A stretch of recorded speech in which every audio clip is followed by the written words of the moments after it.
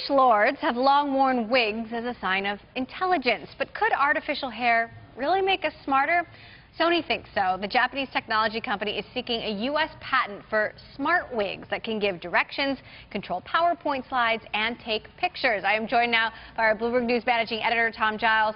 So when I saw this story, I thought, they couldn't possibly really mean wigs. Maybe it's something that goes on your head or something. Do they really mean hair? I'm talking yak hair.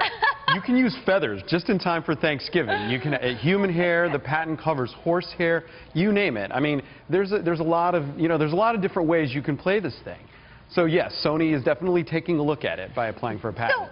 So is this completely ridiculous, or is this just a natural progression of wearable computing. I mean, that's just the thing. You, you, know, we, we laughed when we saw people walking around with Google Glasses at the, at the start. Some people still do. Yeah. But, you know, people are wearing watches. They're wearing, you know, they, it's everywhere now. And it's going to only become more and more common. So, yes, it's a little funny and odd to think about now. But I think down the road, for those people who, you know, want to wear a wig, uh -huh. it's, it's going to weave itself into a lot of different areas of, of what we wear, what we put on our bodies, that we might not even be thinking about right now. And that's what Sony's trying to do here. Now, I know there are patents for lots of things that never come to market. I mean, what do we know about Sony's actual plans here? Right. Just because they're applying for a patent doesn't mean that it's going to come to market, and it doesn't mean it's going to happen anytime soon. I mean, this could be years and years off. But what I think the important thing to keep in mind here is that wearable computing is here. It's here to stay.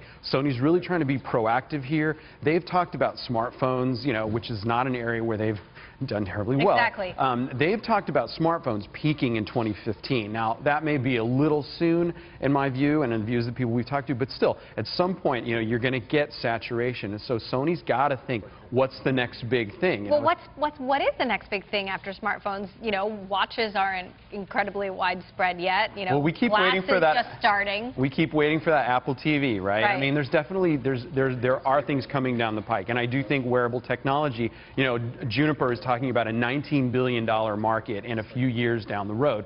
That may be a little, you know, that may be a bit big, but nevertheless, I mean, there's going to be a lot of interest in it, a lot of demand for it. We talk about, we talk about this stuff all the time, and now we're wearing it more and more often. And it's going to end up in some strange places like wigs. Does Sony have any wearable products on the market well, already? They, they, do have a watch right now, so okay. they definitely made a push into this market. And you're seeing it more and more. Google, Apple, uh, you know, I think we're going to see a lot of the big tech giants get more and more aggressive. Samsung is in there.